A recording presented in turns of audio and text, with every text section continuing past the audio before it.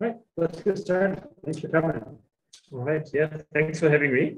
Um, just to make sure the remote people can, can, can you hear me? Can you just confirm that you exist? Yeah, sounds good. Yep. All right, cool, thanks. Um, yeah, so welcome to the talk. I'm going to talk about neural software analysis, which is um, another way of learning developer tools by um, basically learning them from, from code.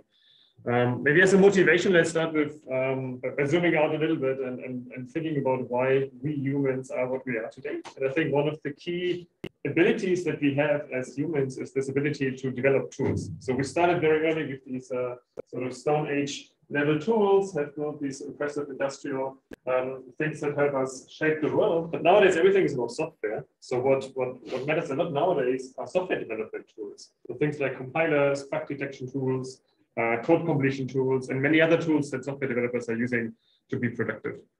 So an important question is how we actually create these tools. And the traditional answer um, that everybody was giving until a few years ago was to use program analysis. Um, so someone, or usually not just one person, but many people sit down um, for a couple of years and then manually craft some analysis. Um, for example, the, the Infer tool by Facebook, which is a bug detection tool, was developed by tens of people over a couple of years. And now at the end, they have a tool that finds a particular class of bugs and, and does that pretty well. Um, so these tools are based on precise logical reasoning, but of course, precise logical reasoning alone is not enough to answer interesting questions in program analysis because almost all interesting questions uh, are undecidable. So on top of this precise and logical reasoning, you typically also need a set of heuristics to make a tool really, uh, really useful. And finally, another property of the traditional program analysis um, techniques is that they are usually challenged by larger code bases. So as, as soon as the code gets larger and more complex, um, things become more challenging um, because it's, it's, it's non-trivial to scale these analyses. Now, on the other hand, um, you can also build a developer tool um, by learning from, uh, from existing software. And this is what we call neural software analysis. So here, um, the analysis is automatically learned within a few hours from data.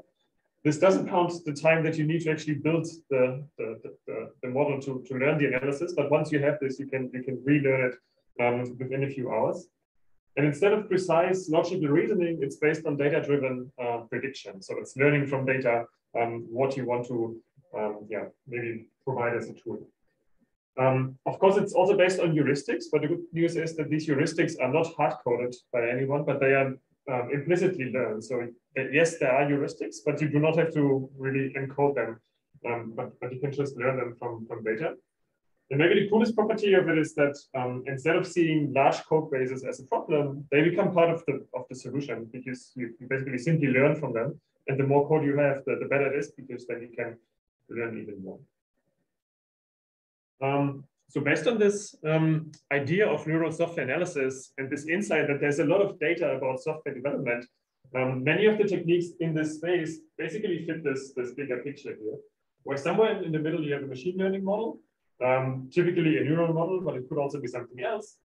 The input to this is either a lot of source code or execution traces or other artifacts that are associated with software like documentation or maybe bug reports. And then you use this data to train a model that at the end gives you some predictive tool, which once you have trained it, um, can look at new code that it hasn't seen before or new uh, executions, and then predict some information that is hopefully useful for developers, such as bugs or, or other things. And uh, I give concrete examples um, in the talk. Um, feel free to ask questions on the way, so please don't wait until the end. So if you want to ask anything, just uh, just let me know. So in this talk, I want to um, give two examples of neural software analysis that we've been recently working on. Um, the first one is called Nalin, and that's a technique to find name value inconsistencies. We'll see in a second what exactly that is. And then the second one is called Typewriter. That was work done um, when I was spending as a sabbatical in Facebook, which is about uh, type prediction. So it takes code written in an untyped um, or partially typed language and then predicts more type annotations to be added to this code. Um, are papers on all of this, so if you want to know more details, uh, feel free to, to check those out. So let's look at the first um, uh, piece of work, this uh, technique to detect uh, name value inconsistencies. And I'd like to kick this off with a little example where something is wrong. And um, maybe if you stare a bit at this code, you can guess what is, what is wrong here. just let you look at this for a few seconds.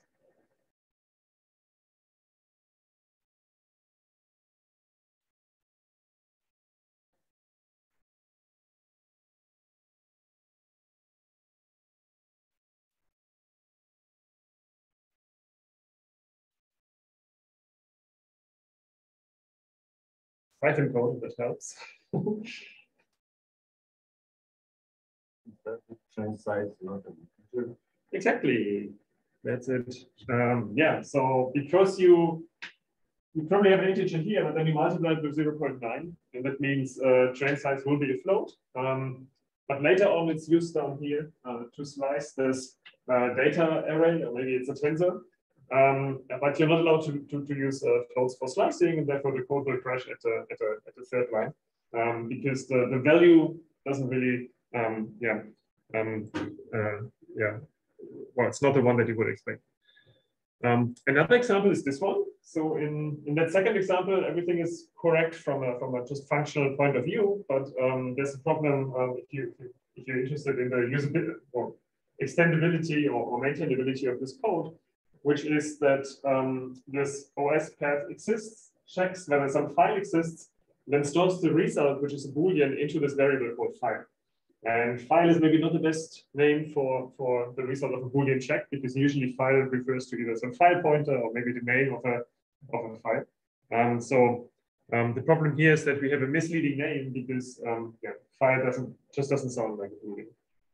And what these two examples have in common is that um, there is an inconsistency between a value and the name that refers to this value, which in the first case leads to just incorrect behavior, and in the second case makes it hard to understand and maintain the code.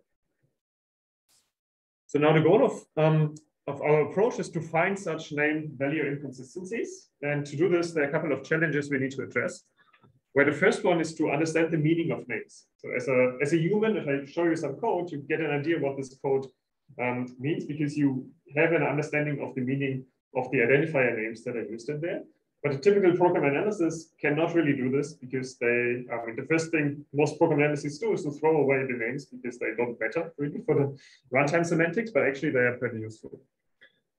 The second challenge um, is to understand the meaning of values. So if you see some runtime value in some representation, you typically get an understanding of what, what this means. But again, um, having this kind of understanding in a program analysis is tricky. And then once we have addressed these first two challenges, the third one is to precisely pinpoint unusual combinations of names and values, um, where we want to be precise um, so that we do not overwhelm developers with um, um, false positives, but at the same time try to find as many of these interesting um, inconsistencies as possible. So here's how we do this. Um, so the technique, as many techniques in this space, consists of the training phase and the prediction phase.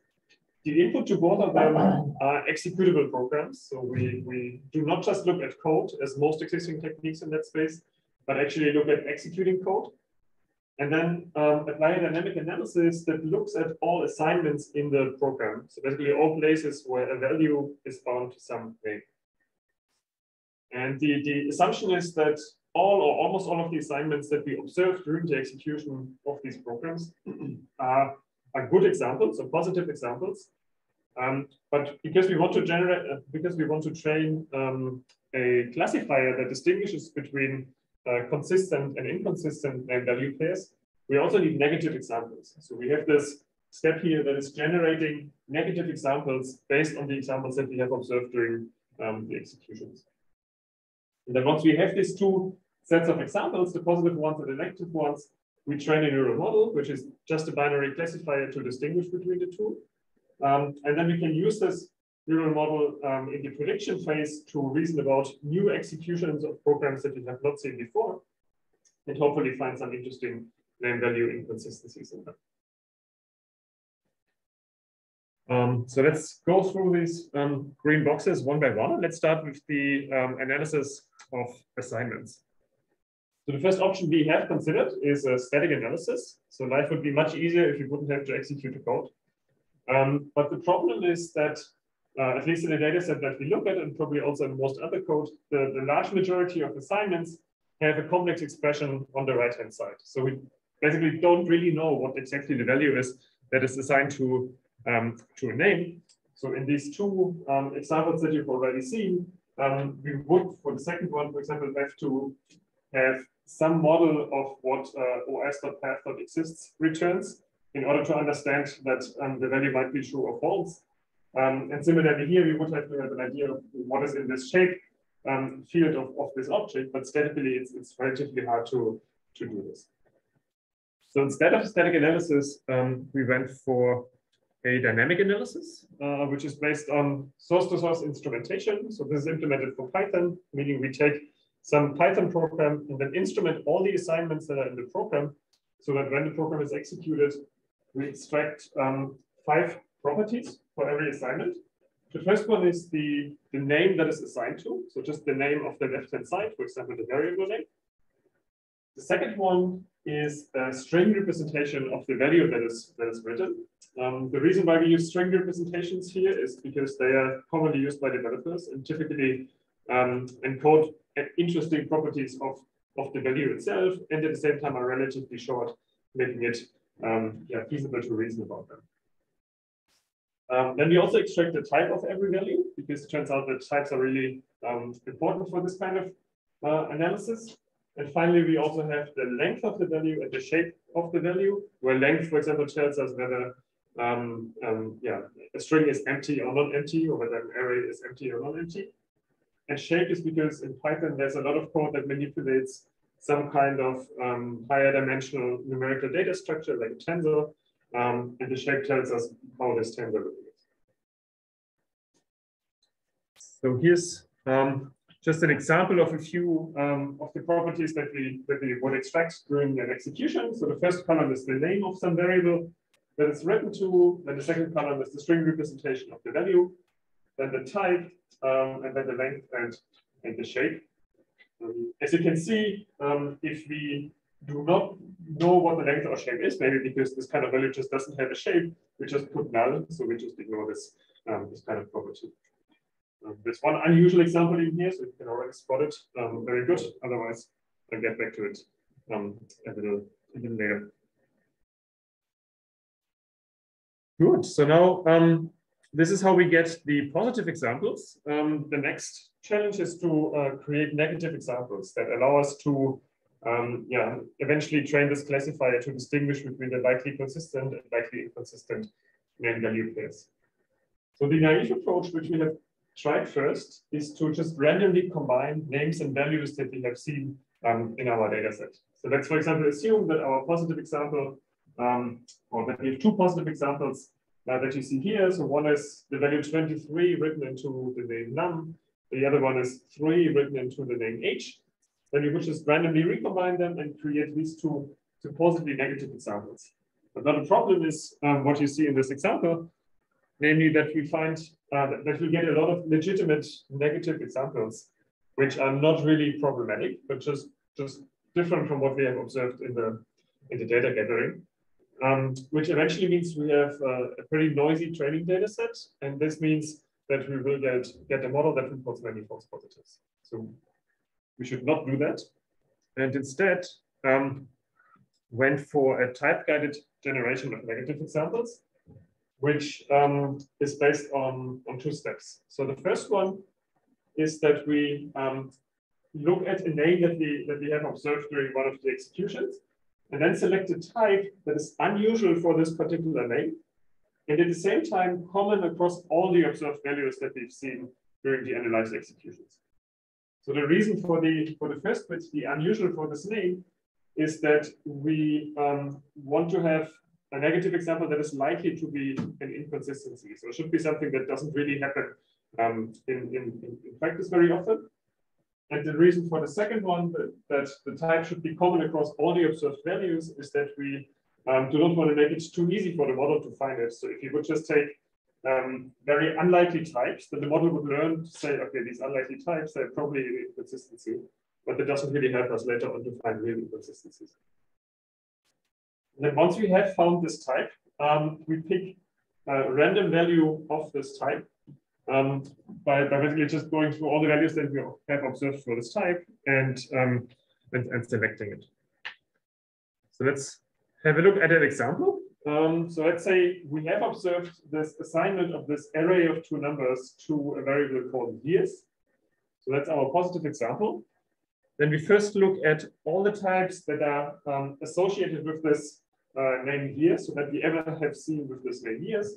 And in this example, let's say we have seen a lot of lists, um, also quite a few ND arrays, but that only a few floats, a few dicts, and maybe a long, long tail of other types that we have never seen or only very, very infrequently seen um, with this name years.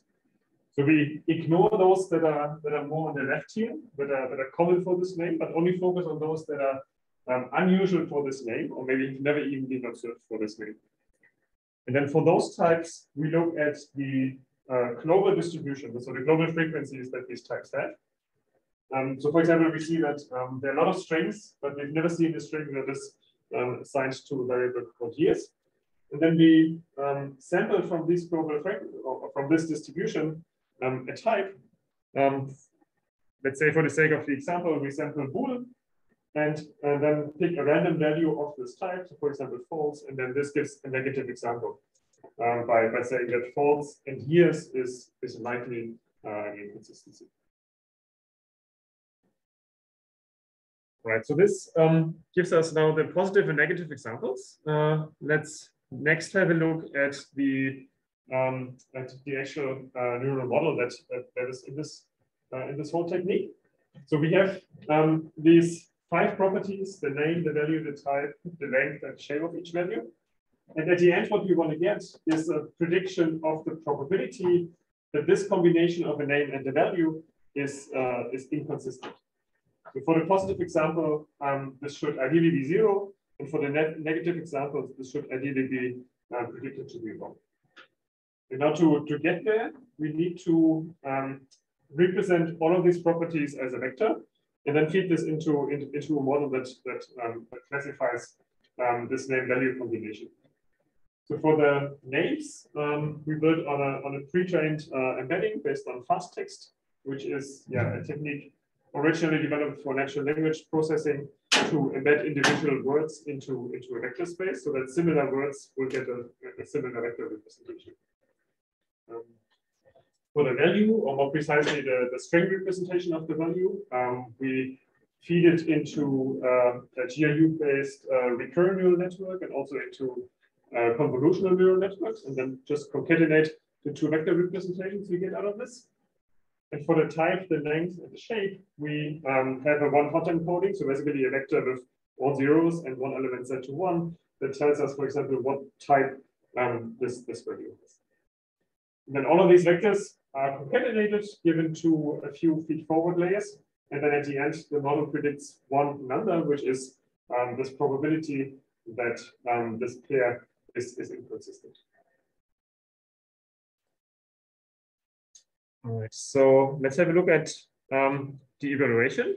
Um, so we um, need some programs that we can execute. Actually, we need many programs that we can execute. And in Python, um, one good way of getting a, large set of executable programs are, are Jupyter notebooks. I mean, that's something that um, many people use nowadays anyway to, to write Python code. And many of these notebooks contain all their inputs. So we do not have to worry about um, um generating inputs to run these programs. So we started with a data set of a million of these Jupyter notebooks um, that was compiled by some other people. Um, many of them could not really be executed, um, for example, because of missing dependencies. But um, removing all of those that we failed to execute, um, we still had about 100,000 of these notebooks, out of which we got roughly 950,000 of these named value pairs. So it's a relatively large data set um, to, uh, to reason about.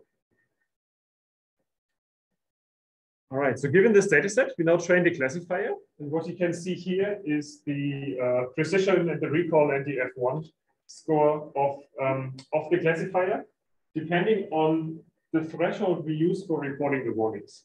So just remember that the model predicts this probability that a pair is inconsistent.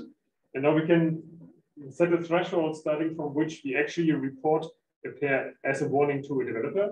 If we set the threshold higher, we will find fewer of the, the actual inconsistencies, so the recall goes down, but the precision goes up because the model is more certain that it's actually appropriate. Now a good threshold is somewhere in the middle, and the, the best F1 score uh, we got here was 89%, meaning that the model finds most of the inconsistencies and is correct most of the time when it says that there's.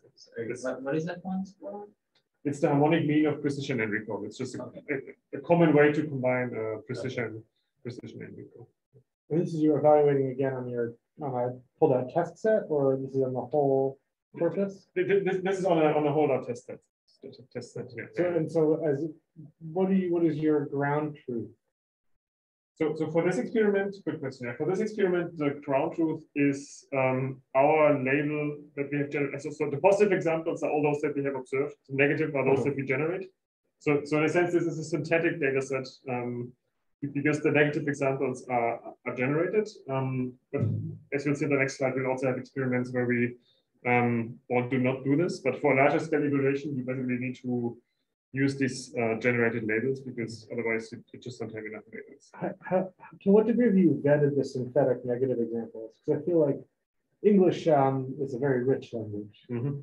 Uh, so it's, I think it'd be very easy to have things like, well, of course, these are unrelated, and it's a totally different type. But then it turns out like these are great. Mhm. It's a great representation of this. Right, right, right. Um, we looked quite a bit at them, and, and that's also why we discarded this naive approach. had Naive is clearly bad, yeah. Yeah, yeah, yeah. Well, initially we thought it's it's maybe good enough, but yeah, we, Okay. we always find out afterwards.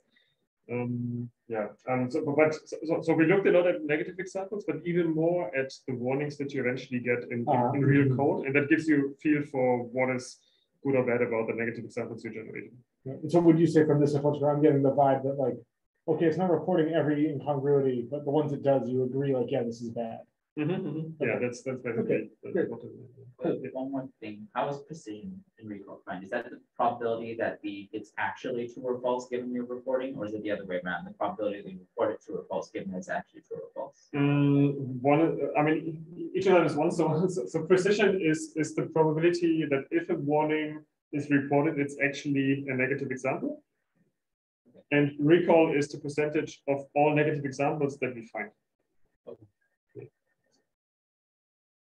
All right, so this is um, yeah, just looking at the classifier based on the synthetic examples, but we were also wondering to what extent um, the warnings that Nalin produces not only um, match our understanding of names and values, but also that of other developers, uh, which is why we did a study with a, a few developers, where we basically showed them um, pairs of names and values and then asked them to, to assess whether this is an easy to understand combination or a hard to understand combination. So basically, if you would see this pair somewhere in a program, um, would it make it easy or hard to understand the code?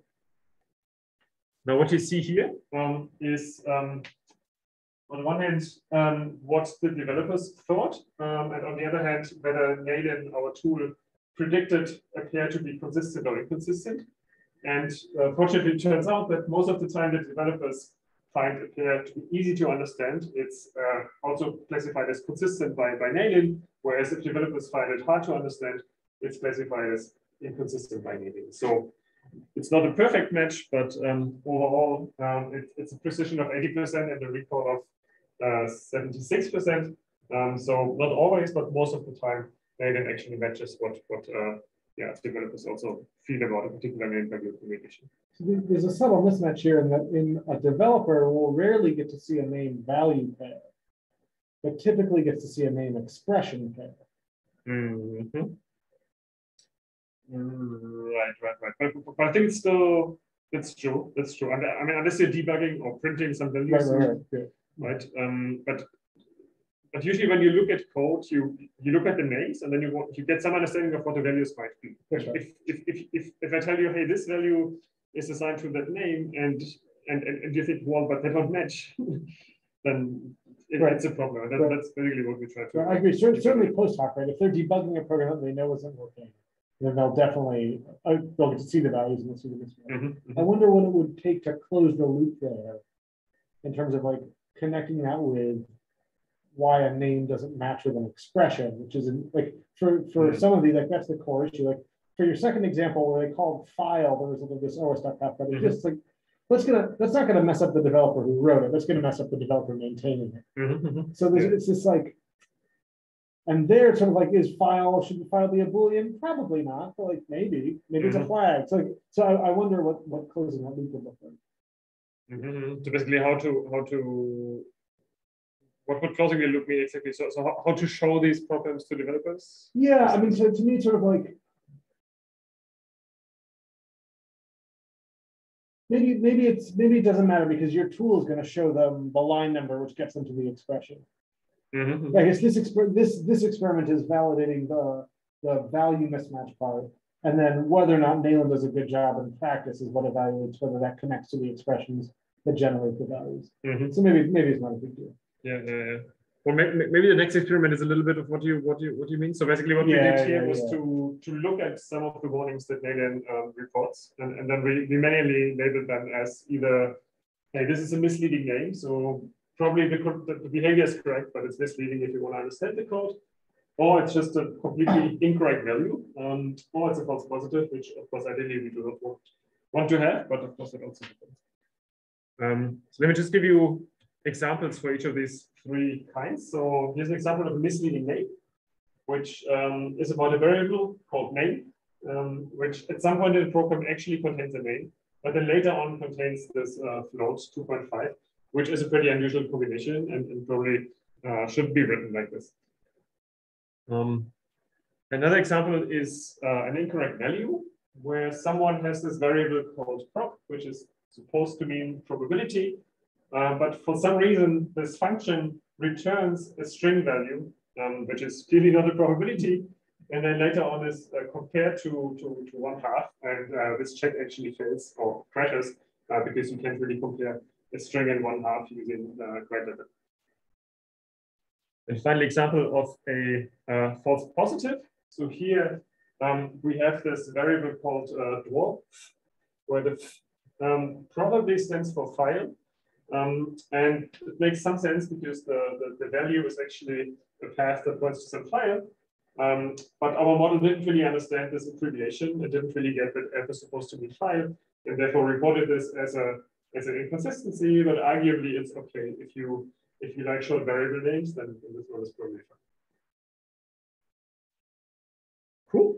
Um, yeah, we also compared Nalin with uh, a couple of existing tools. So there isn't really a tool that does exactly what, what Nalin is trying to do. So we looked around for tools that are that are trying to do similar things, and we ended up comparing um, to two traditional um, static checkers. One of them is uh, Pyre, um, um, yeah, a gradual type checker for Python, and the other one is Flake 8, which looks for lots of style-related issues. So it's a lint-like tool that is that is pretty popular. Um, and then we also compared to DeepBugs, which is our own prior work. Um, it's also a learning-based bug detector, but static. And it also looks at name-related problems.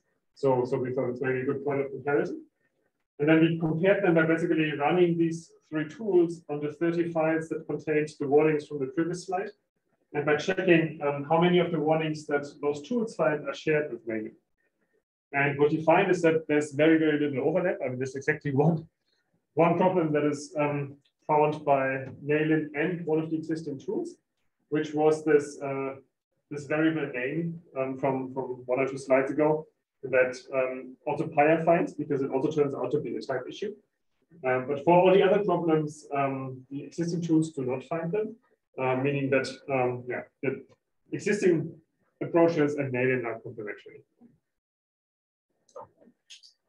Good. So let me just summarize this first part, um, which is about yeah this tool called Nalin to detect um, name value inconsistencies.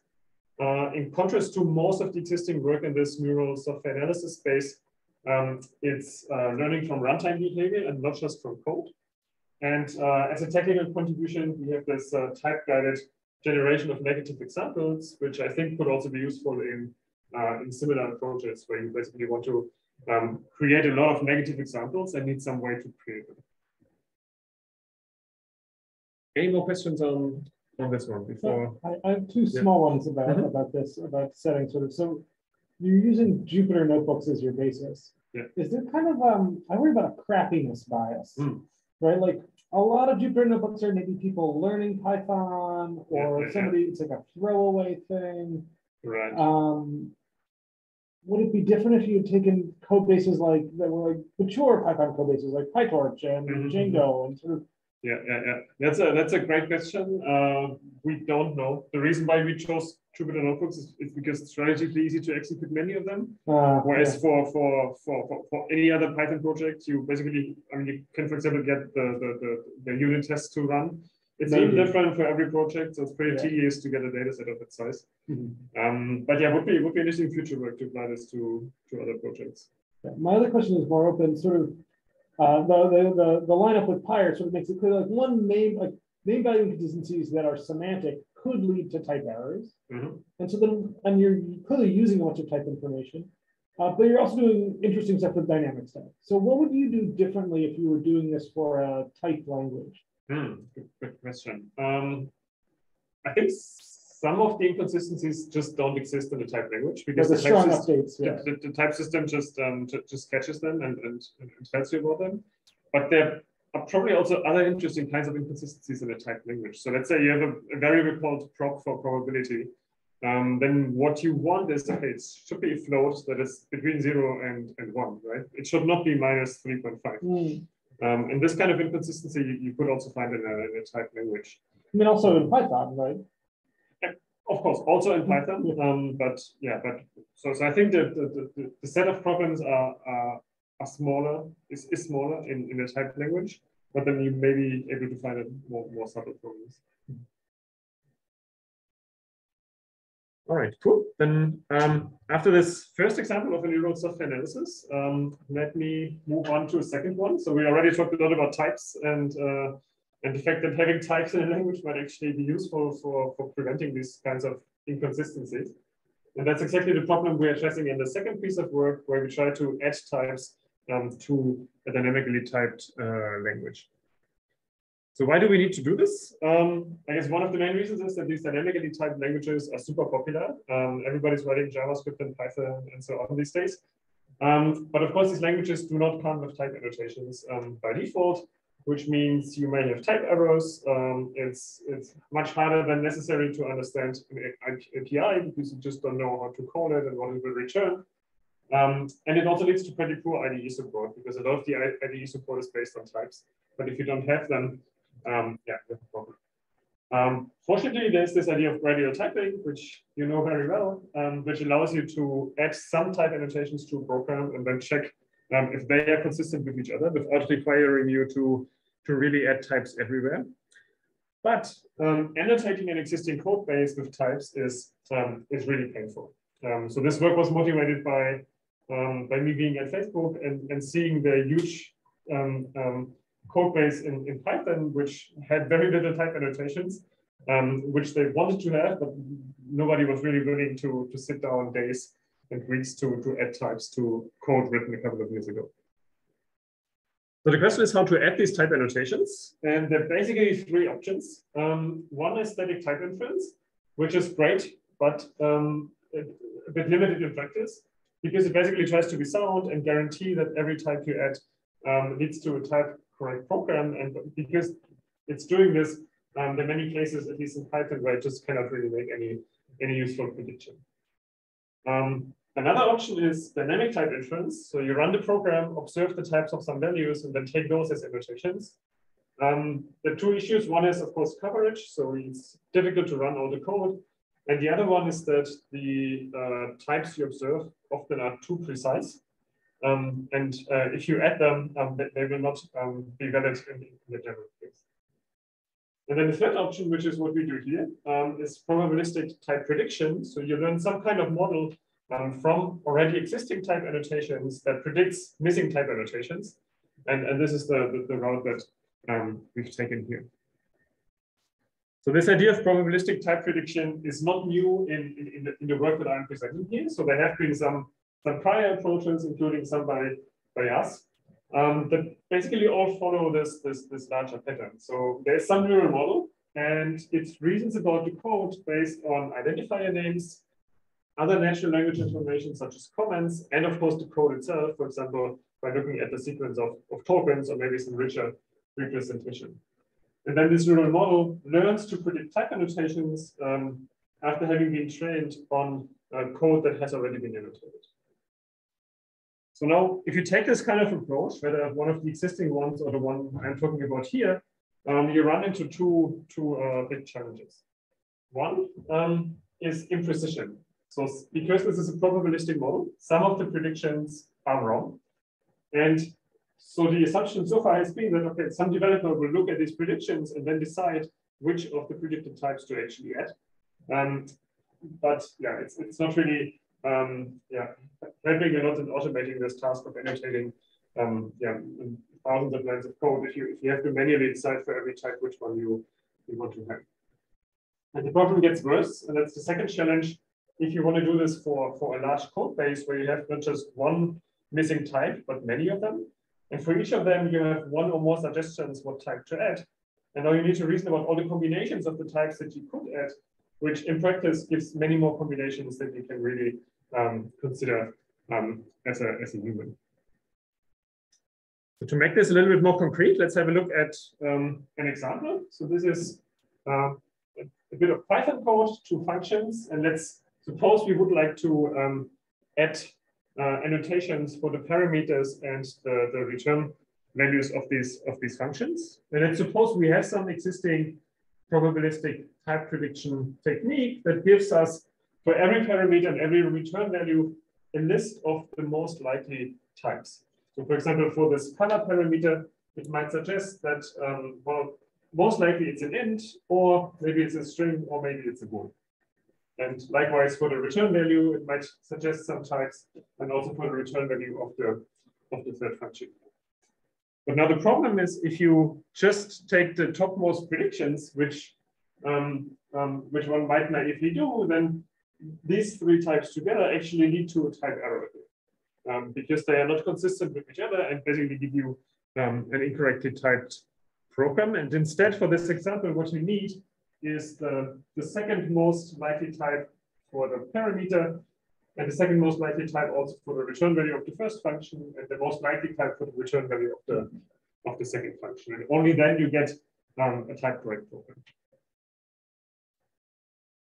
So now in order to find this kind of um, type assignment automatically, um, we have this typewriter approach, which consists of two main steps. So the first step is um, a probabilistic type prediction model that applies a very lightweight static analysis to, to code, extracts some natural language information and also some programming language information, and then trains a, a neural type prediction model. And then given these type predictions, which is essentially this list of the most likely types for every place where a type is missing, um, we have a, a, search for a set of consistent types, which uses um, the fact that we have these existing static type checkers um, as, as an oracle to check if a particular type assignment makes sense. And then also has a, has a feedback directed search where we try to um, step by step refine the types that we are assigning until we reach um, a set of types that are type correct according to the type checker.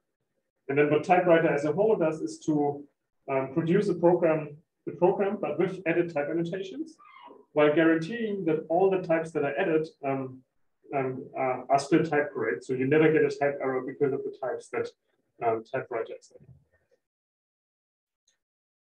All right, so let's go through these uh, boxes um, step by step, and let's start with the kind of information that we are using to, to make these predictions.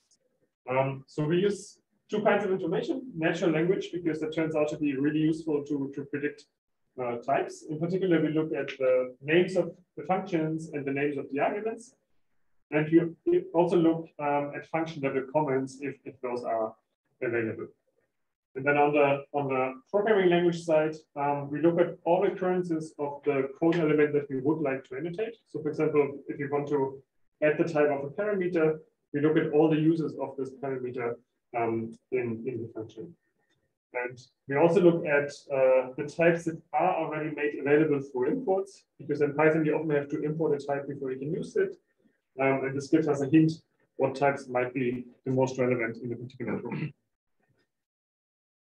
So looking back, back at the example, um, for example, we would extract the names of, um, of this parameter and of the function itself. Um, we would also extract this um, the docstring that we have here.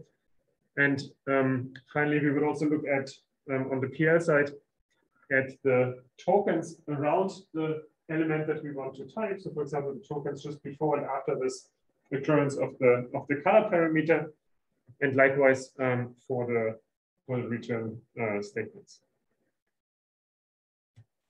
All right, and then once we have all this information, um, we um, represent it in a way that allows us to reason about it in a, in a neural model. So for code tokens, um, we use a pre-trained uh, token embedding that basically maps every token into a vector representation and then summarize a sequence of tokens um, using a recurrent neural network, which then gives us one vector that represents this entire sequence. And for identifiers and comments, we do more or less the same, but now based on a pre-trained word embedding that is pre-trained on, on, natural language. Um, again, giving us um, one vector um, for the identifiers or and, and another one for the comments. Um, we also have this set of available types that we basically encode as a, as a one hot vector that you can think of as a type mask. So basically everything is zero except the types that have been imported in the file. Yeah. How do you encode higher order types? Like um, I saw in the previous I did list of string. Like do you just enumerate like say list of string, list of any, list of list of string, yeah, some certain depth? Good, good, good question. So what we do here is to basically just enumerate. So we have a fixed type vocabulary uh, which is the top 1000 types across the entire corpus that we have. Um, and then if there's a list of string and a list of int, um, and, and, both are common, they are part of the vocabulary. So like your tool probably would not infer like list of list of list of string or anything bizarre like that. It would just give list Unless it's in the top 1000, but but if it's if it's very bizarre, then then, then it cannot infer it. Right? Good point. Yeah, I mean that's a that would be a nice line of future work to, to find a, a better way to represent these these uh, um, yeah parametric types. Um, because you yeah I mean a list of string and a list of uh, ints of course has, has something in common which we currently don't really really encode here. Right, so then, so given these um, these vector representations of these of these different ingredients, uh, we again just put everything into into one big vector, um, feed it through um, a hidden layer, and then at the end we have a softmax function that basically outputs a probability distribution over our type vocabulary.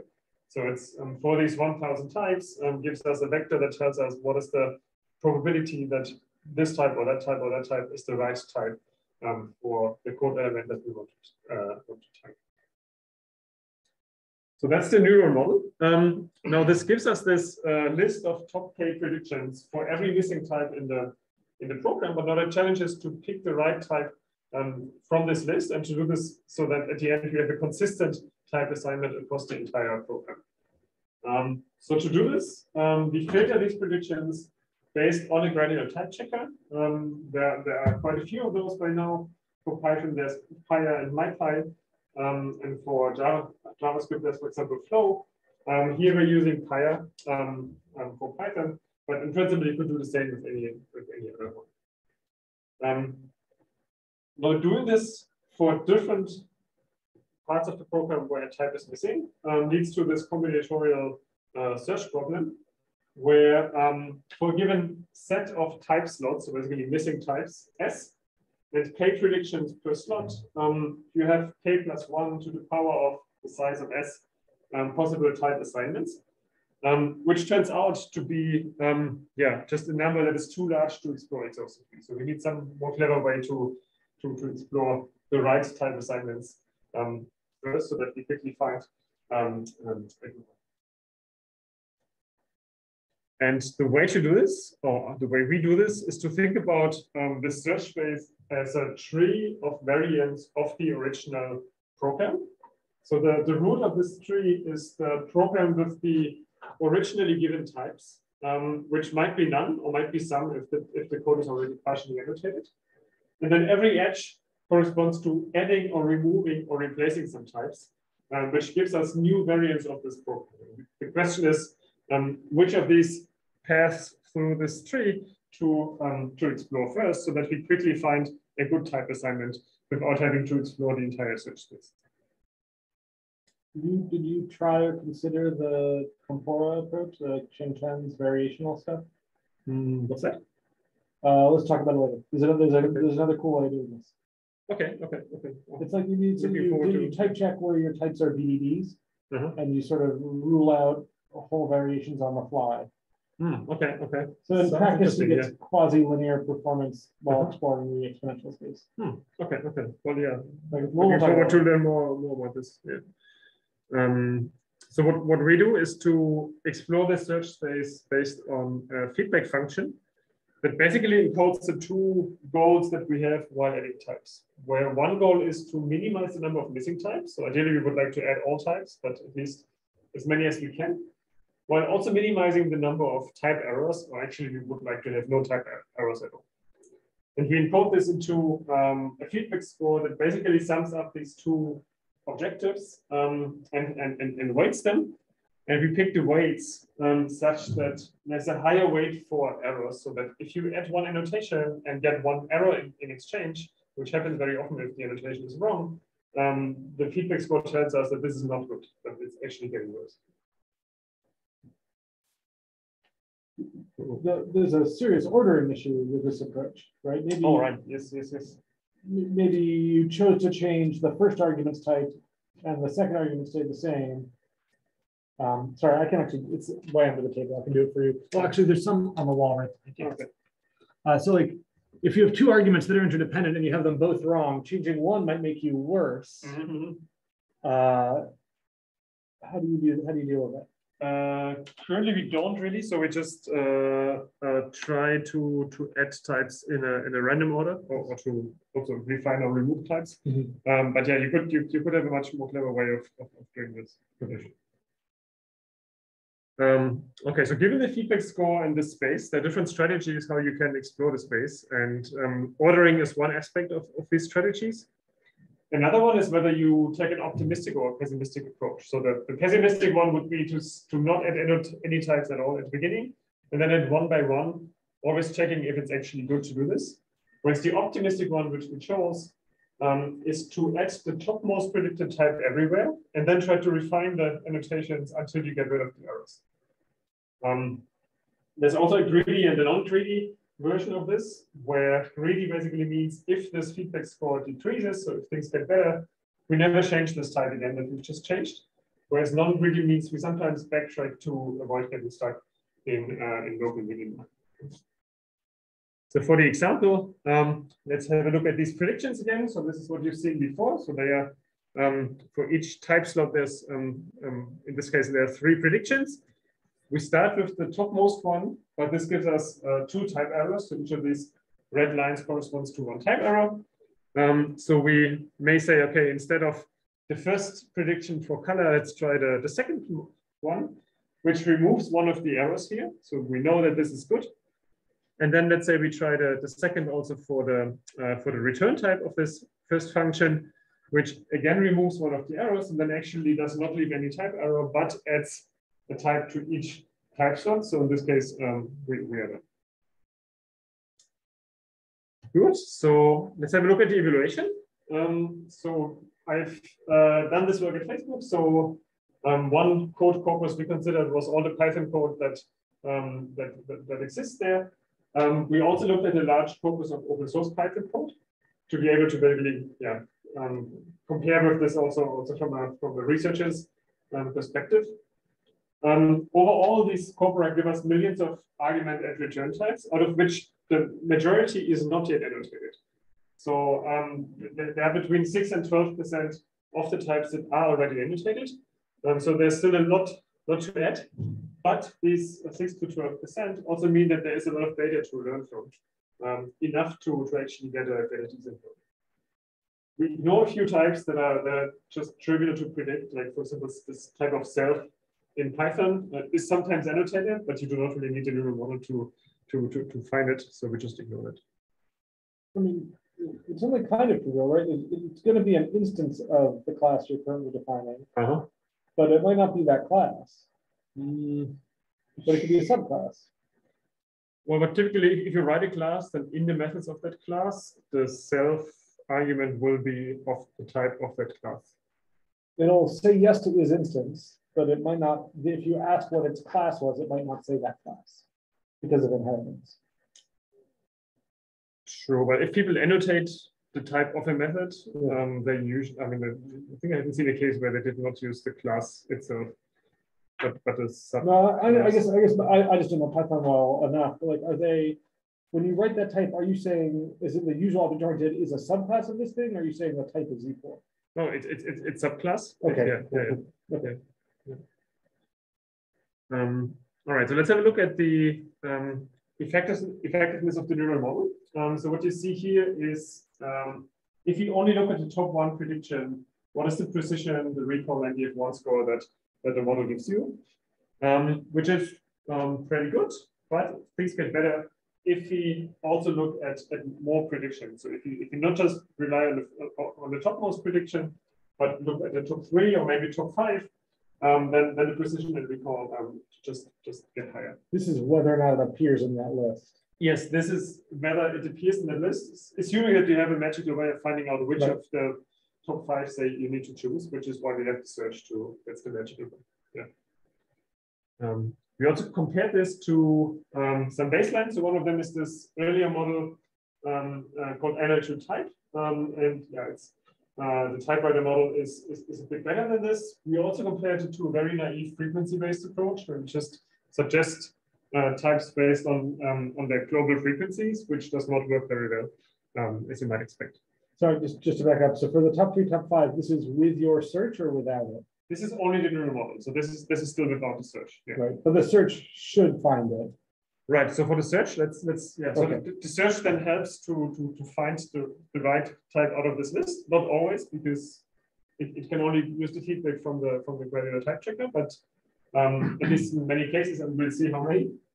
Um, so what you see here is if you apply the search and look maybe just at the top one or top three or top five, and then depending on what kind of search strategy we are using, um, do we find the right types? And right types we measure in two ways. So we did this on a set of files that had been fully annotated by, by, by developers. So we take this as a ground truth.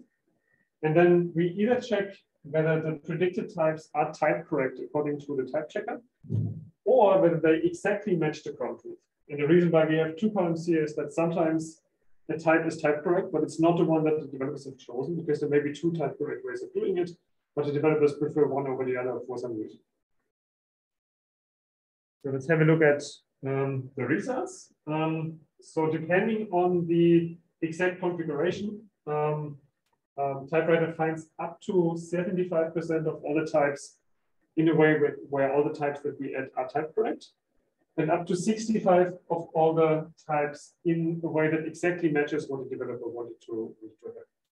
If you compare this to these um, 6 to 12% type annotations that we had initially, it, it is a significant improvement. Uh, but of course, it does not add all the types because there's some that, yeah, for some reason, um, we just can't predict. So I have a question. So you're generating these likely types and then using some kind of search algorithm to kind of find uh, a concordant assignment of these types. Mhm. Have you considered doing some kind of an interactive approach? Like it seems like if I were a user of your tool, I might want to say, oh, you can run it and maybe it gives pretty good guesses for all these. And then I'm like, oh, this one is clearly not an integer, it's a string, and I can specify that. Mhm. Is there some kind of like gradual or interactive approach that you've looked at doing? Hmm, hmm. Yeah, that's an interesting idea. So we, we thought about it, but we, we didn't really get to, to having some interface to actually to actually do this. Um, but there definitely are cases where if you manually help a bit with one of the types, then suddenly other types become more obvious uh, easier to. I guess to the, the follow-up question is like, you don't have hundred percent accuracy. Do you output like some partial assignment and then the programmer can manually go through that and be like, oh, these are correct, I'll add them to the code and then run it again? Mm, you basically asking, could, could you do this in an iterative way? Yeah. Um, you could. Uh, we haven't really evaluated this, but but but you could. So so the way it's it's it's presented to developers right now is that um, yeah, it basically shows the, the types that we know to be type correct, and then the developers can just say yes, I want to have all of those. Okay, How long does inference take? Uh, the inference is pretty fast. What takes longer is the gradual effect checking, which is most. I mean, I think some of it is maybe is, it's just engineering. Yeah. Um, but but there are also some some more fundamental problems. I think. Um, but the inference is, is is is the fast part of it. Um, just one more thing. So Yeah. you, so just to get this correct, you do not expose the developers to like things that you think might be type, Mhm. like Yeah. might be the correct. We don't show this ranked list because that's exactly what we do not want to do. Otherwise, they would have to go through these ranked lists for every type slot. But instead, just show one type assignment that in itself is, is consistent and, and type Right, okay. Um, we also compared this to um, the static type inference that, that comes with Pyre, um, which is also able to, to, to find some of the types, but yeah, much fewer than um, what typewriter finds. And interestingly, almost all of the types that are found by the static type inference are subsumed by the by the neural model. Um, so yeah, I think it's fair to say that it's strictly better than, than at least this version of, of static type inference. Um, of course, there are also some limitations. Um, one of them is this, this um, subtle difference between type correctness and soundness. So um, not all the type correct types are necessarily those that developers really want to have. Um, another limitation is that we have this limited type vocabulary. So if there needs to be a type that is outside of this top 1000 types, then we just can't find it by design. And finally, um, as you already hinted at with your question, maybe is, is the is the performance. So the, the gradual type checking, and because of that, also the entire typewriter approach is relatively slow, um, which maybe can be fixed in, in, in the future, but right now um, still remains uh, a problem. Good. Um, let me just finish this up with, uh, with zooming out um, quite a bit out of um, out of these two specific approaches and getting back to this uh, general idea of neural software um, analysis and the question when to use it and maybe also when not to use it. So I'm not saying that neurosoft analysis should replace traditional analysis in all cases. It's just sometimes good. And we try to think a little bit about um, in what cases you, you may want to use it or not use it. And we came up with three dimensions um, where one is about the fuzziness of the information that you have available. So if the information is very fuzzy, for example, identifier names or, um, or, or, natural language information in, in, comments, then neural analysis is actually a pretty good fit because it's really good about uh, at reasoning about these, um, these, these fuzzy pieces of information. Another dimension is whether there is a well-defined correctness criterion. So for many problems, you have a well-defined correctness criterion that tells you, okay, this is the correct solution. you just need to find it. Whereas for others, this criterion is not available. So for example, for name value inconsistencies, um, we just don't know, right? It's to some extent subjective. Uh, the same for, for, for, type prediction, because there may be multiple types that um, are maybe type correct, but not all of them, but, but only one of them is, is what the developers actually choose. And if you do not have a well-defined correctness criterion, um, then neural software analysis tends to be uh, tends to be more useful. And then finally, the last dimension, maybe the most obvious one, it's about how much data you have available to learn from. If you have a lot of examples, then yeah, neural analysis uh, makes sense. Good. And with this, I'm basically at the end of my presentation. Um, so there are, of course, some interesting open challenges. I just leave them here uh, in case you're interested. And yeah, thank you very much for your attention. Cool, thank you. So we definitely have time for a couple of questions. I hope also students have time in the afternoon to hang out with Michael for a bit. Yes, people see it on the schedule at two thirty. We'll hang out in here. Awesome. Um, any questions from uh, from the Zoomies?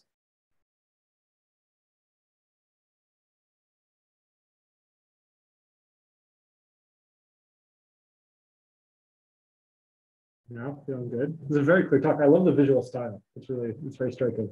Oh, thanks, thanks.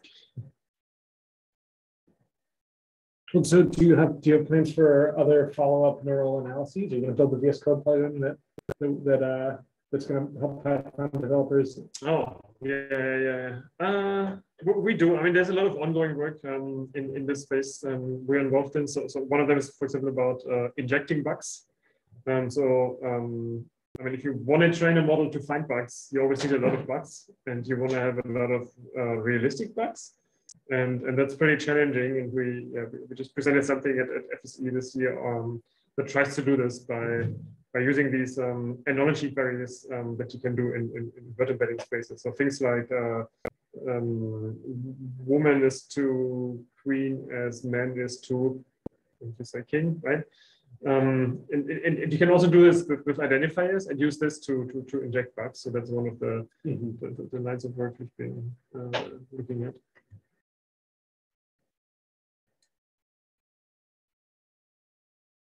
Okay, cool. We got, we got a bunch of questions in during the talk. Yeah, so- we, we lots well- of questions, so I think I think we're all good. All right, we'll let's take them, take them one more time.